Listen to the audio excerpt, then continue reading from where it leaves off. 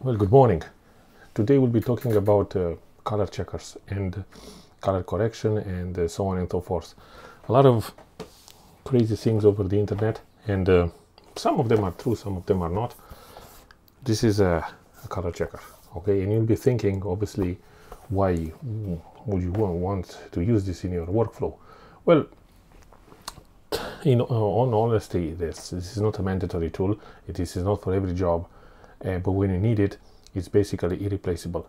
A color checker is nothing but this type of uh, cardboard or some sort of a paper plastic material that has as you can see this type of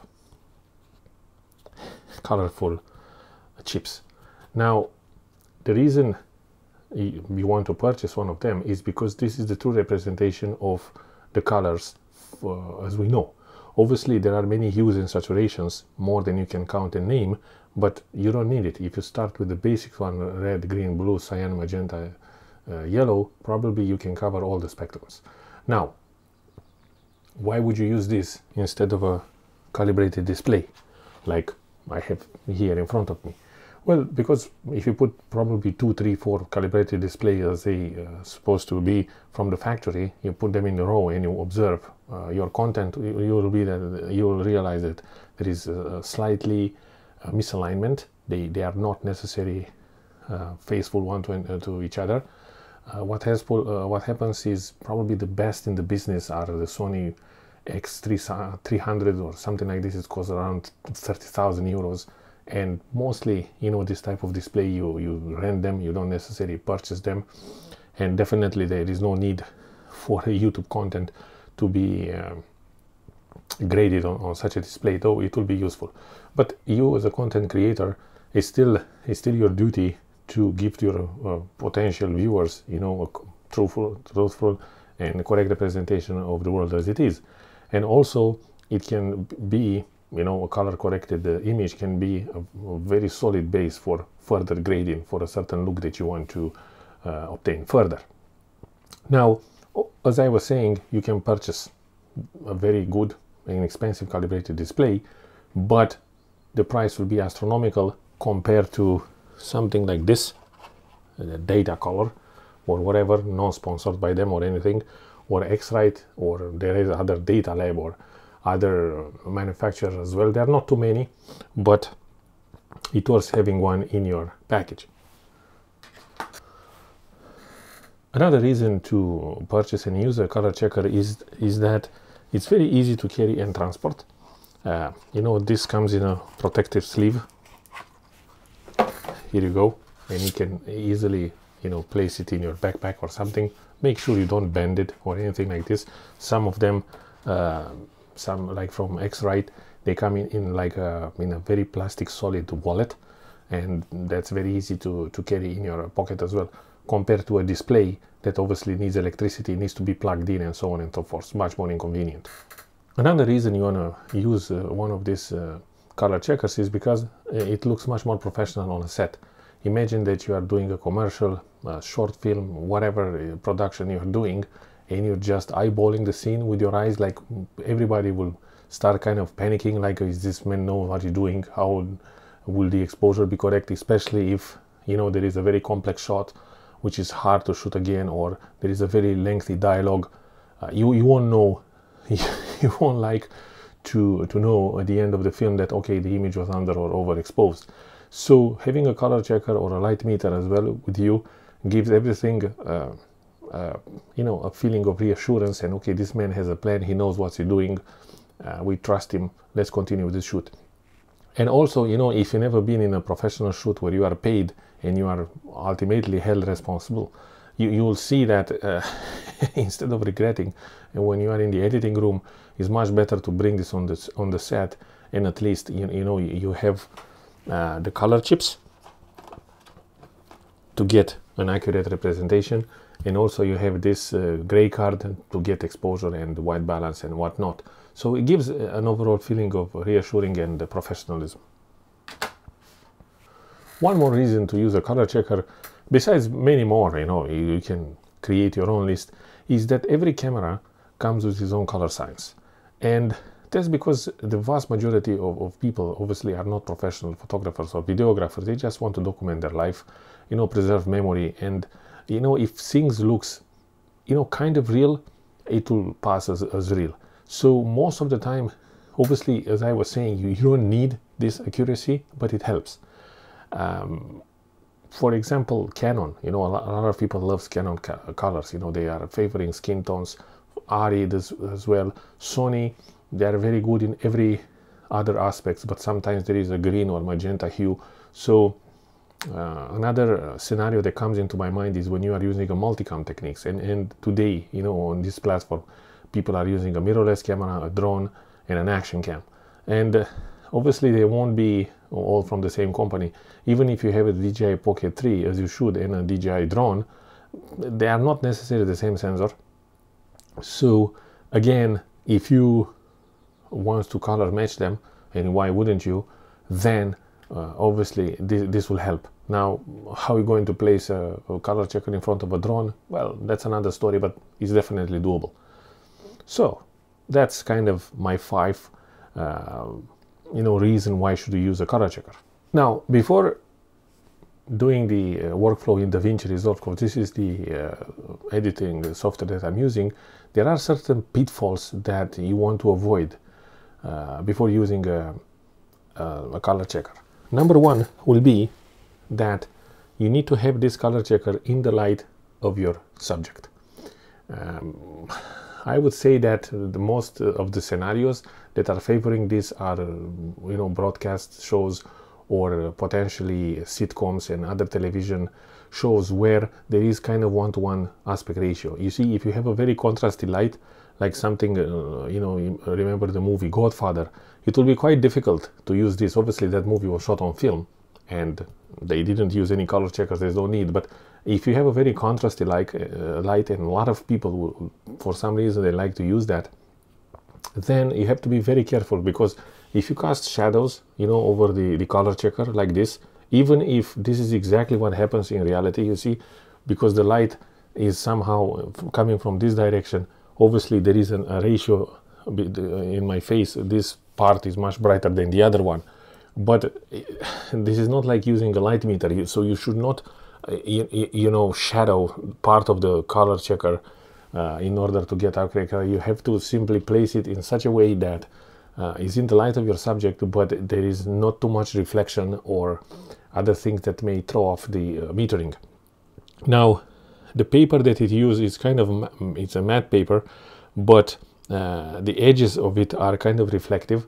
So uh, you have to usually what I do I place it in the light of the subject but then very slowly I angle it in various direction hoping that somehow I can avoid uh, at least in some of the frame uh, the reflection. You see this will be quite quite reflective. This this won't be a good example. Probably here is better.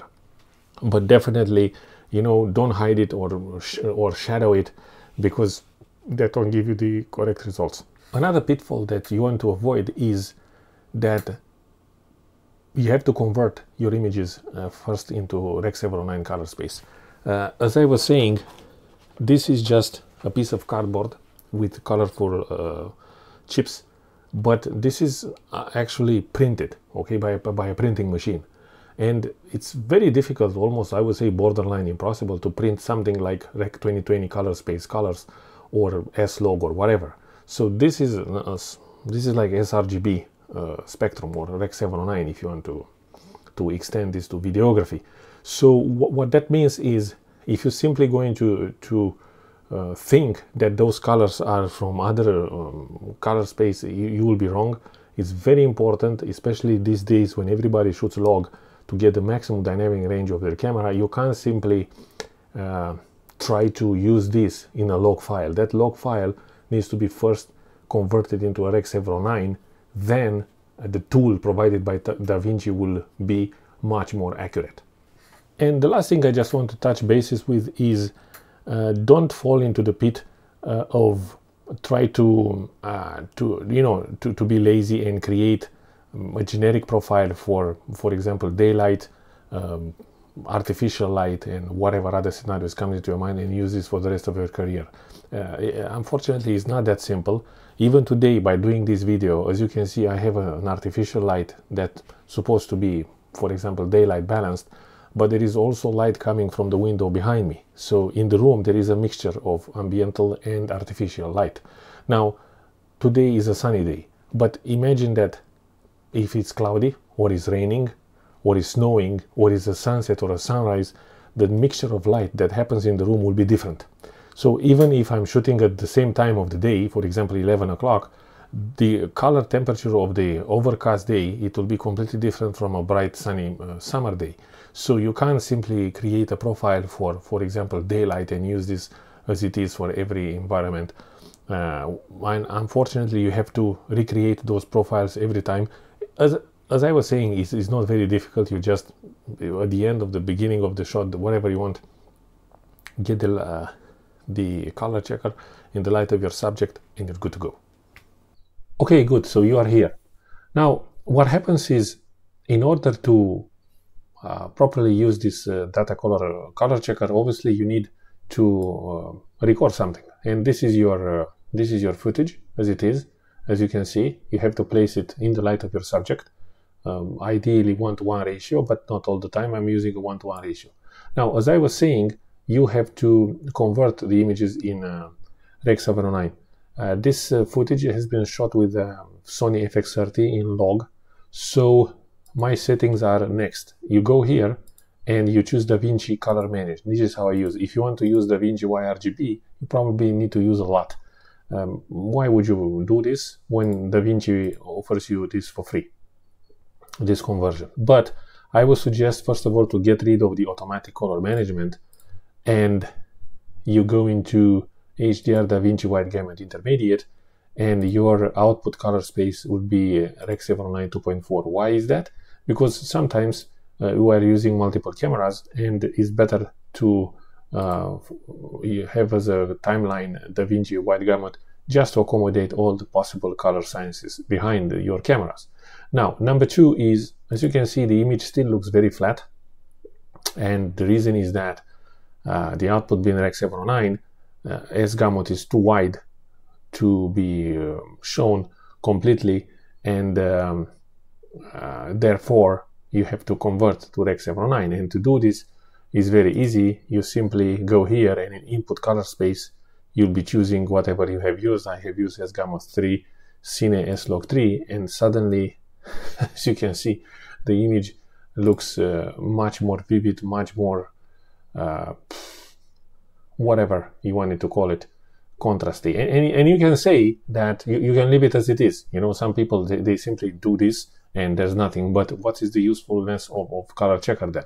Now before proceeding further how are you going to find the frame which has the best representation of the color checker? Well i would suggest to create a power window and with the pen tool you should select initially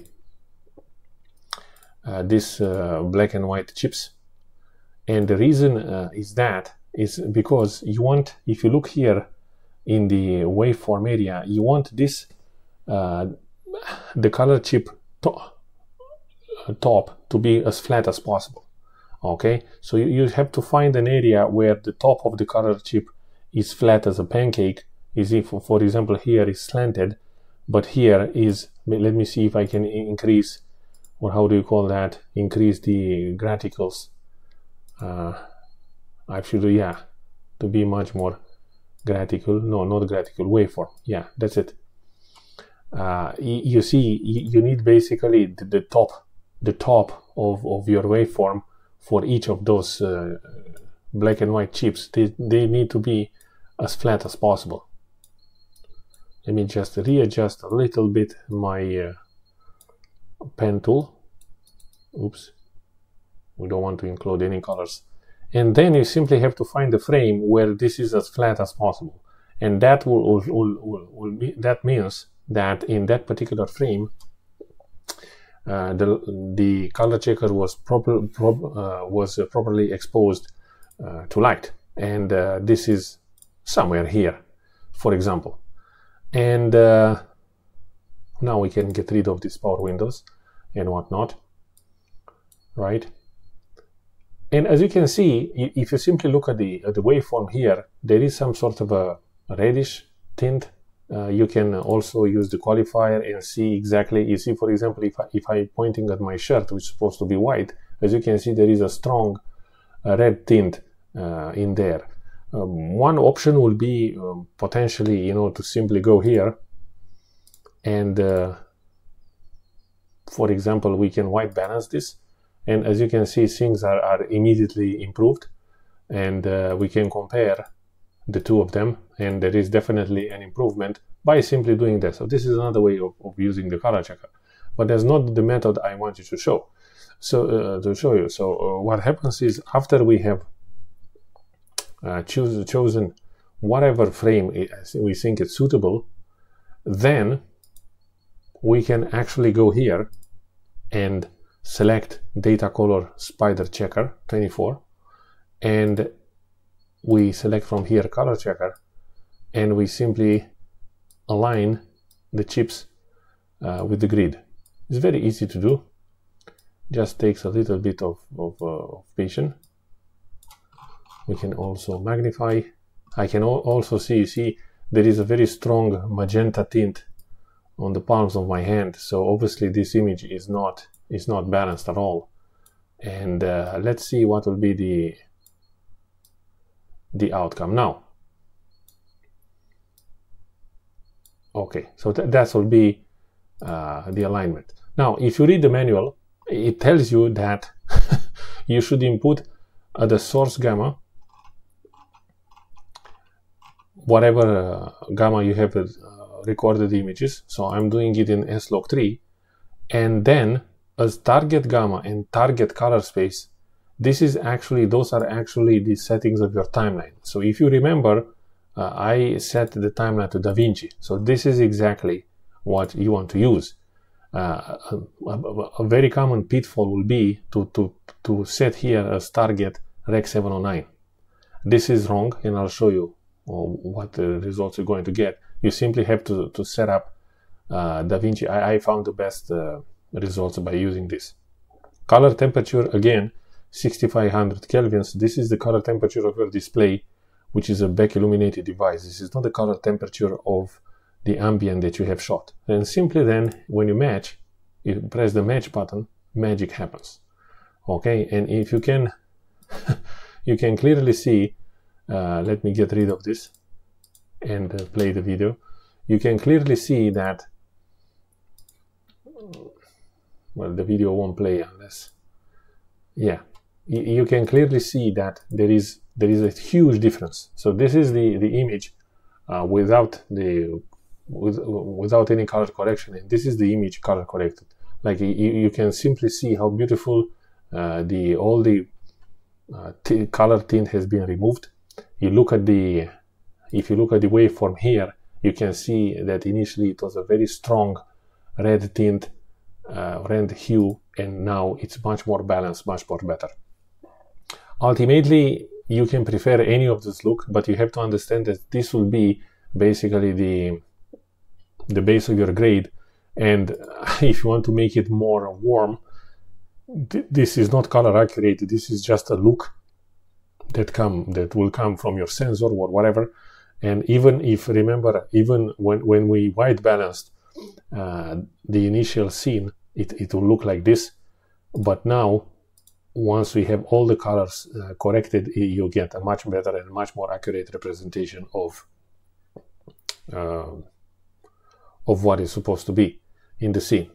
So it is it is quite simple and uh, quite a unique tool, and I think it's uh, should be part of, of any cinematographer or videographer uh, toolkit.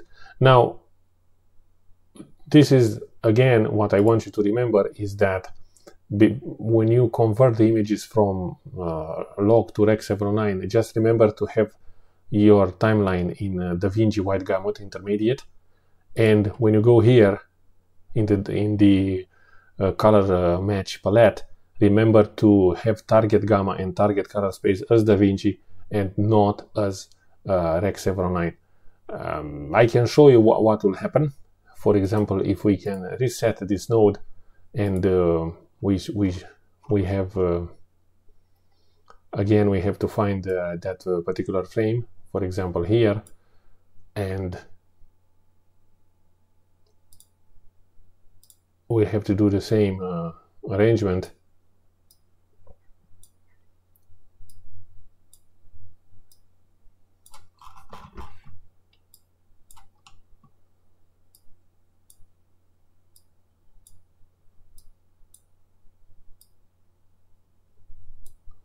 okay.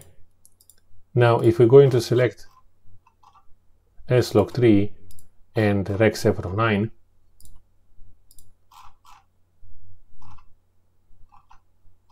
which is here and then you match everything explodes. Uh, and, and, you get this uh, type of result. Now you can probably probably you can go there and simply try to bring everything down. Like i, I don't know. You may try to, to play with the uh, it, it, doesn't really work. And um, or what you can do is to go into the project here and actually set it to uh, but even then even then you see it, it, it, just doesn't work. In order to correct the image so you see you get an absolute an absolute uh, disastrous results if you do it uh, as I was saying, in the wrong way. So I hope that was helpful and uh, see you next time.